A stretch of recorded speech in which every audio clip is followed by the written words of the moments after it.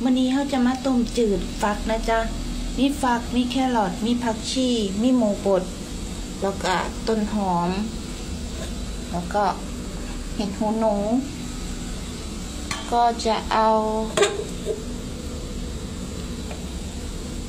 ข้านอต้มจืดลงไปสามก้อน พร้อมรากผักชี โอเค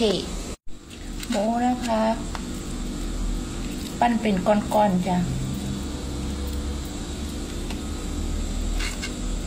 ถ้าทำเสร็จแล้วก็ลงตรงนี้นี้เลย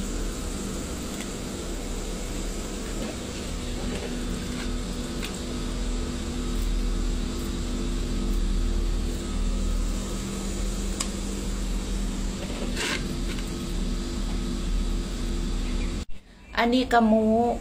มันสุกแล้วมันก็ลอยขึ้นมาจากที่เป็นก้อนๆพ่อก็จะใส่เห็ดหูหนูไป แล้วก็ใส่ฟักไปนะคะ อันนี้ก็ไม่ถนัดนะคะ ก็จะใส่เข้าไปนะคะ มันเดือดได้ทีแล้วจ้ะ อันนี้ผักชี ใส่ลงไป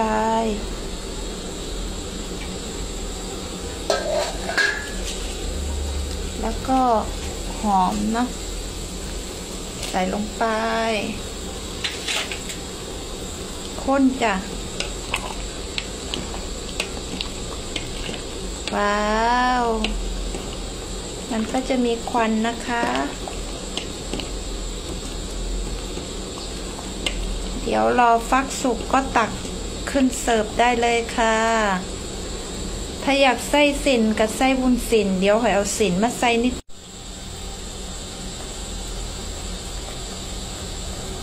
อันนี้จะใส่วุ้นเส้นเข้าไปด้วยนะคะ ใส่วุ้นเส้นเข้าไปแล้วจ้ะ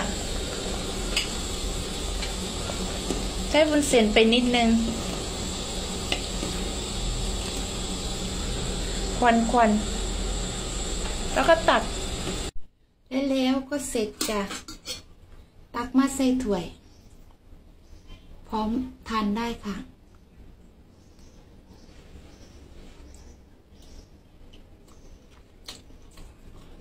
อืมแซ่บเนอะ